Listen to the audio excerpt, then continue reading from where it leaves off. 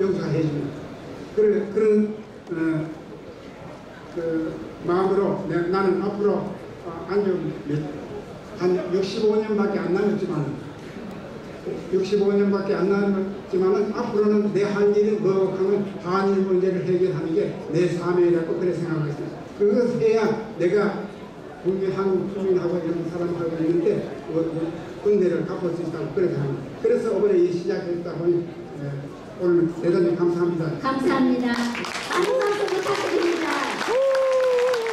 어, 사회자 대량으로 지금 순서가 좀 바뀌었습니다. 대회사를 먼저 해야 되는데 축사를 먼저 받았습니다.